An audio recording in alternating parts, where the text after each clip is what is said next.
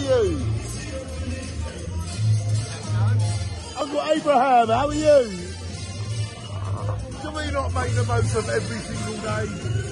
Do we not do the ultimate? That is who we are. We make the most of every single day. Why just have it make the most of every single day, like you do?